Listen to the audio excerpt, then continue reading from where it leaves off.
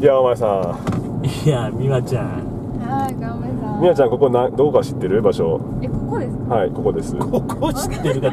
あ後ろの席座ってるしあんまり見えそうやな。ここはねわかります、えー、43号線を走っております。阪神高速の下。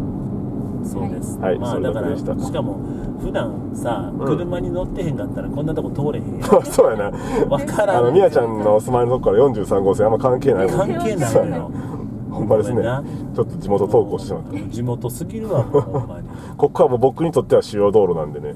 そう。やな、運転せえへんけどはい。我々はね。我々はもう幹線道路幹線道路。ねはい。で今日のテーマは？あ今日はですね、は久しぶりに音楽の話をしましょう。音楽の話いいですね。ね。はい。えー秋もだいぶ夜中に更けてきましたが、はいはい。こんな秋の夜中に聴きたい音楽夜？夜？夜です。まあ別に夜ではなくてもいいんですけど、秋に聞きたはいい、秋っぽい音楽何でもいいです。日本でも何やろな。邦楽でもいいし洋楽でもいいです。邦楽でもいいし。僕は夜に聴きたいなと思ったのが一個ありますね、何でしょうか？どうぞ、まあ、歌詞に全く秋感は正直ないんですけど歌詞は違いますね。はい、雰囲気とか、まあ、メロディーとかメロディーはい、えーカーペンターズのおう「Close to You ちょっとどんな曲」じゃんちょっと待って難しいな。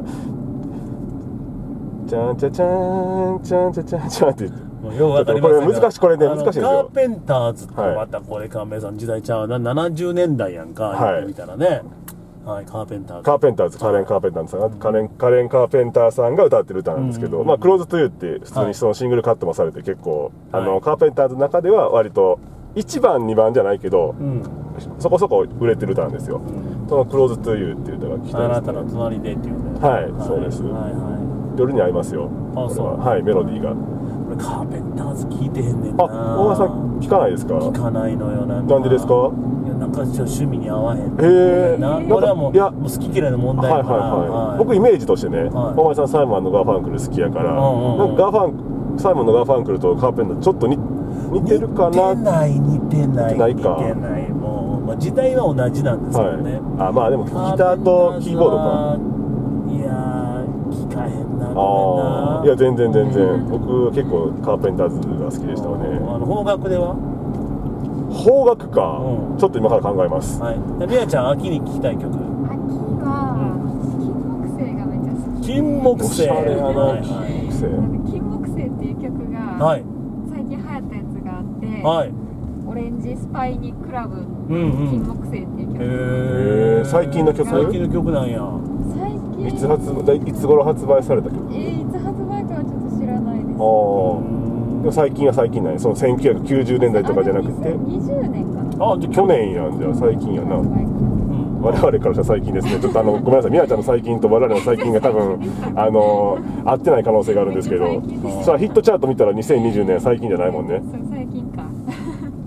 結構流行ったんですよ。へー。聞いたらわかるか金なるほどな。木犀。ね金木犀。金木犀。金木犀。大前さんは？何やろえー、何やろな。あじゃあ僕先言っていいですか？はいはい方角思いつきました。はいはいはい。秋から冬に向けてねあはい。の歌なんですが、はい。まあ、これ2000年代の歌なんですよ。はい。2002年ぐらいにね、はい。はい。今みやちゃんの金木犀で完全に思い出しましたけど、えー金木犀っていうバンドがありましてですね「二人の赤星」っていう歌が僕は聞きたいです。あの高速道路の橋を駆け抜けて君連れたまま知らないですか？二人の赤星。遠くへと連れ去ってしまおうかっていう。かっ飛ばせ赤星が。いや僕もねちょっと当時は思ってましたけど、はい。赤星あ赤星ん。さんかなと思ったけど、違うんですよ。の？二人の赤星っていうね。へー。2002年ぐらいかな。結構流行ったんですよこれは。なるほど、ね。はい。ごめんねもう不全然全然。知らんわ。全然全然聞いてください。よかったら。金木犀。金木犀、はい。いいね。昭和やったら何があるかな？ちょっと今から昭昭和和で考えます僕今から。昭和で考え平平成は金木犀の二人の赤星。僕昭はやっぱりね、はい。あの大竹栄一さんの作お。曲作詞のね、はい。あの松田聖子さんの「風立ちぬ」ですあよ、あうん。タイトルは知ってますよ。知ってるやろ、はい。風立ちぬ今は秋やんか、あか歌詞にも秋も入ってくるんですね。今日から私はあそれか。心の旅人はいはいはいはってやつ。あれ大竹栄一さんやったんですか？大竹栄一。もろ大瀧詠一さんのメロディーですね。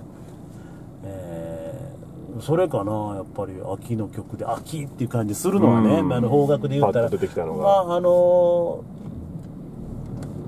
あれかなまあもうこれポピュラーすぎるんですけど、う秋っぽいのは、うん。秋が秋っぽくないのかもしれない歌詞的にはね、うんうんうん。だけど僕はあのビリー・ジョエルの「ストレンジャーの」来た。あめっちゃ好きですそれは。うん。あれはあれは最初のウィスパー口笛がさやっぱりまあ秋じゃないですか。いやストレンジャー僕 CD 買いましたよストレンジャーを。あれはやっぱ秋やな。あれ秋ですね。いや。ここは共感めっちゃできましたわ。よかったわ。ビリー・ジョエルのストレンジャーめ超名曲ですわ。ね名はい。曲やね、もちろんねあの始まりもいいんですよね。チャッチャッチャラチャッチャッチャそうってねそうめっちゃかっこいいよね。かっこいいあれかっこいい。はで最後またイントロあのそう戻るのよね。戻るんですよね。はい口笛のあの儚い感じにね。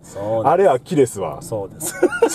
えらい力入ってるねいや自分。僕いやビリー・ジョエル僕ね好きなんですうんよ僕も大好きね。CD 名前変わってるんですけど。70年代ですから、ね、77年昭和52年ぐらいの曲やったあ昭和52年か。そう僕はもうあの沖縄手からうん。あのその後にね。そう帰っまあ名曲ですよね。名曲。あれはだから当時ねリアルタイムで僕そういう曲をもちろん聴けないので、うん。リアルタイムであの辺の時代の曲聴けたらいいなって思ってましたずっと。あの辺は洋楽もやっぱりこう洋楽ね。結構かっこよかったかっもんね。こいいんですよあの時代の洋楽は。そうそうめっちゃ好き。いやわかりますわ。ストレンジャーはめっちゃ刺さりました僕にえはなんかねもうテンション上がりましたね。あのねストレンジャーはほんまねわかる好きなんですよ僕ね。はい。やってまあ、ちょっとビリー・ジョエルの話僕行きますけど、それまでは分かりやすいねピアノマンとか。ン、ピアノ名曲だな。そうとオネスティとか、まあ、ちょっとオネスティもでも秋やな。ああれは秋ですね。秋や秋や。歌詞もちょっとなんかそういう哀愁な感じしますもんね。誠実的な感じでね。まず今ちょっと宮ちゃん歌ってる。あそうそうそうそうとかあのアップタウンガールとかね80年代のあんな感じが、まあ、あの辺もまあいい曲やね。そうなんですよ、あの辺が僕最初は好きやったんですよ、うん。分かりやすくてね、はいはいはい。でストレンジャーは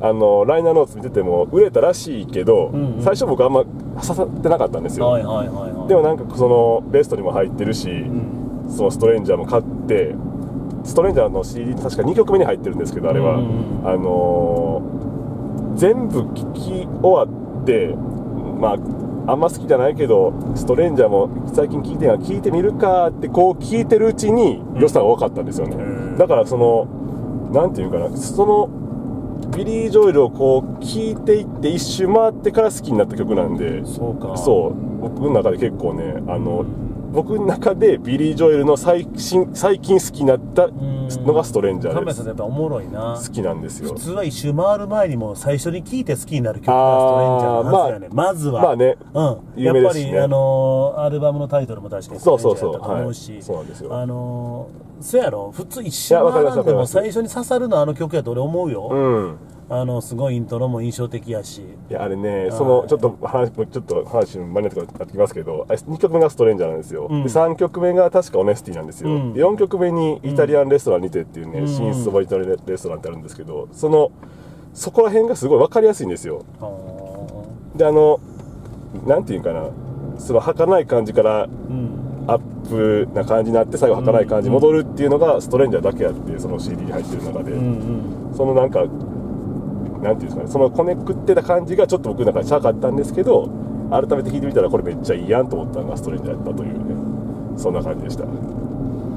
あれはそのイントロの頭の部分と最後の終走のあのう部分っていうのは別物で考えたらいいんちゃいますその間にの曲がもう一つのストレンジの完成のあれで、うそれのもそうですよね。序章と終章にあの最初の口笛が入ってると見た方がいいと思うね、あれをあの一緒に捉えるとちょっと違う気はするかもしれませんけど。そうかもしれないですね。楽曲としての完成度はめちゃめちゃ高いと思いますいやほんまに改めて思いました、それは。ね。うん、はい。めっちゃ好きですあと何を昭和考えたもうなんか一人一人 興奮してるけど。ビリー・ジョーにちょっと刺さってましたね、は秋か方角で、えー昭和い、昭和じゃなくてもいいけどね別に。何があるやろな。秋ってでもあんまないんですよね僕。夏とか冬って分かりやすいじゃないですか、うん夏の曲ってなんかうん。海がどうじゃこうじゃとか冬は雪がどうじゃこうじゃとか春は春。は桜がどうじゃこうじゃとか出会いと別れがどうじゃこうじゃとか。夏はで秋は枯葉がどうじゃこうじゃとかいっぱいあるで。いやでもあーまあそうなんですけどはい。数として少ないなと思って。いやきっと少なくないと思う秋ってめっちゃ多いと思いますよ僕がじゃあ曲聞いてこんかっただけかもしれない。そういうことやね。君の尺度で考えたらあかんと思うね。あの季節には全部歌があります。あまあまあそれはそうですに多い少ないはないです。ああそうかそうか、はい。えー、だからなんやろうな秋ね。秋ね。秋に聴きたい曲。ううん。んなんやろな。なんやろね。うん。オータムなんとかってあんま聞かないですもんね。サマーなんちゃらとかウィンターなんちゃらとかはよくあるけど。うーん。僕はあのこれピアノの楽曲。これね僕うん。カズラジも言ったんですけど、ジョージ・ウィンストンのねあはいはいはい。あの、まあ、季節を、まあ、ピアノなんですけど、えージョージ・ウィンストンさんというピアノ奏者が弾くオータム」っていう曲はい。がめっちゃかっこいいんですよ、へえこれジョージ・がすごいニストンさん名名前だけは。はい。CM の歌にも使われていたような曲にも気がしますけど、へえはい。まあ、そのオータムが、まあ、あの春もあったり秋夏もあったり冬もあったりするんですけどね、うん。というわけで。はい到着でございます。おちょうど10分もありました三宮。はいありがとうございもうひたすらカメラさんがストレンチャーに刺さった10分間でした。はい